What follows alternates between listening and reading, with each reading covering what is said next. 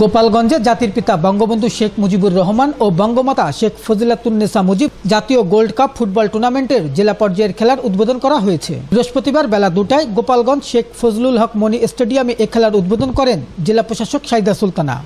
এ সময় জেলা আওয়ামী লীগের সাধারণ সম্পাদক মাহবুব আলী খান, অতিরিক্ত জেলা প্রশাসক মোহাম্মদ ইলিয়াসুর রহমান, অতিরিক্ত পুলিশ সুপার মোহাম্মদ আব্দুর রহমান, পৌর মেয়র কাজী লিয়াকত আলী লেকু উপস্থিত ছিলেন।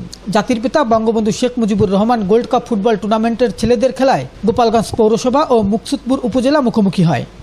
খেলার নির্ধারিত সময়ে দুই দুই গোলে সমতা থাকলে ট্রাইবেকারে গড়ায় জয় পরাজয়।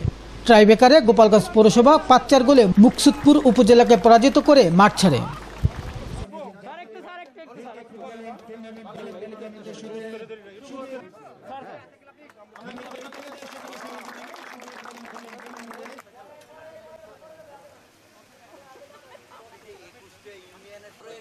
বক্তপুর উপজেলা সদস্যের কোচ ম্যানেজারের দৃষ্টি আকর্ষণ করছি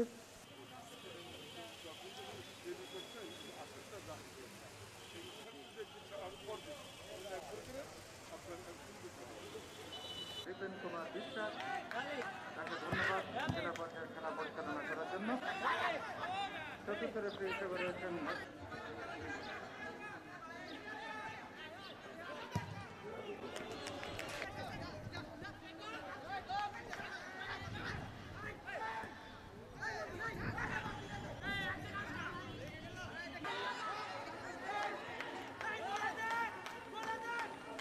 আক্রমণের মকসুদপুর উপজেলা? চিত্রনাথ।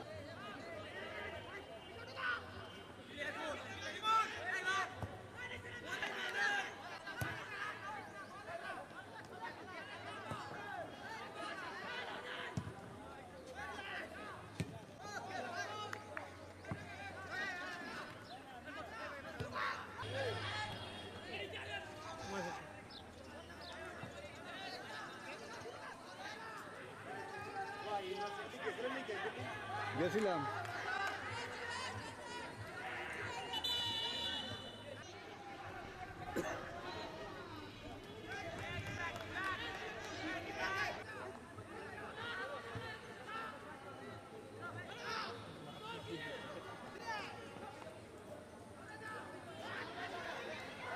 আক্রমণের জন্য মকসুদপুর দেখা যাক কি করলে